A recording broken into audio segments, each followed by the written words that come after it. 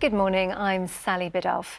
It's been a night of celebration for Manchester City fans after the team etched its place in history with an extraordinary win against Inter Milan in Istanbul. Pep Guardiola's squad have completed the treble, winning the Premier League, FA Cup and now the Champions League. They're the first English Premier League club to do so since Manchester United in 1999. Natalia Jorquera has more. Collective euphoria.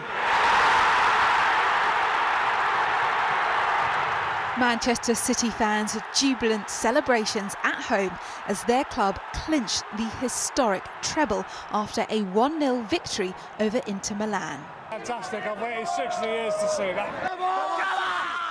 It was a tough game, they made it hard, but I think, you know, if you look at the chances created, I think we were sort of there and we were on it. It was a tense match with Inter Milan defending resolutely for large periods of the game. But it wasn't until the 68th minute that City took the lead with a final strike from Rodri. Rodri! Manchester City lead in the Champions League final! A memorable night for the lucky fans who watched the final in Istanbul. City have won the treble.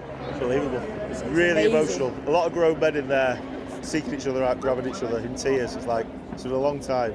I'm not gonna lie, I've, it's, it's probably the worst performance they've had all season. was it's not been a good performance, half. but it don't matter because we won, so it don't matter, does it? So Never cried, it's the first time I've cried since I was about four. It's been a long time coming. I'm, I'm 59. I've been a City supporter since I was a little kid, Yes! and we've made it. We've done it. We are champions of the world, and it's amazing. And there were, of course, some very happy scenes in the changing room too.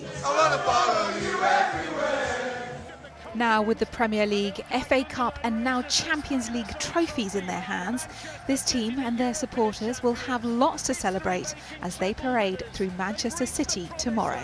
Natalia Jorquera, ITV News. Labour and the Lib Dems have called for a snap election after Rishi Sunak found himself three MPs down in the space of 24 hours. Former Culture Secretary Nadine Dorries was the first to go before Boris Johnson quit late on Friday over the Partygate report. His longtime ally, Nigel Adams, then stepped down yesterday. This morning, Mr Johnson's supporter, Sir Jacob Rees-Mogg, said he could easily get back into Parliament at the next election. Turning to international news now, and Ukraine's president has confirmed that the country's anticipated counteroffensive against Russia has begun.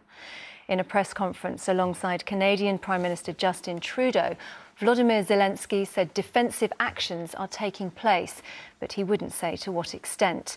In the past few weeks, there has been an escalation of fighting in the southern and eastern parts of the country. Ukrainian troops are believed to have advanced in these areas, and there are reports they've carried out long range strikes on Russian targets. Donald Trump has made some extraordinary claims in his first public appearance since he was officially charged with stashing classified documents at his Florida resort.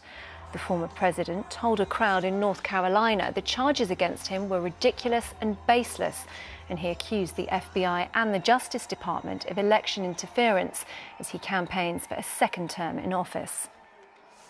This vicious persecution is a travesty of justice.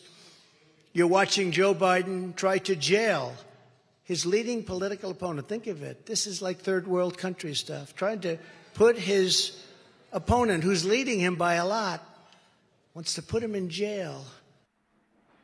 An amber weather warning remains in place for much of England today, with the UK Health Security Agency saying everyone should take care in the hot weather, not just the vulnerable. Temperatures are expected to exceed 30 degrees again, meaning the health service could come under pressure. Yesterday, temperatures reached 32.2 degrees in Surrey, making it the hottest day of the year so far. Thunderstorms are also expected later. There's a yellow weather warning in place for that. And the hot weather should also continue well into next week. But that's all from us for now. I'll be back with the lunchtime news at quarter past 12. Till then, enjoy your morning and the sunshine. Bye bye.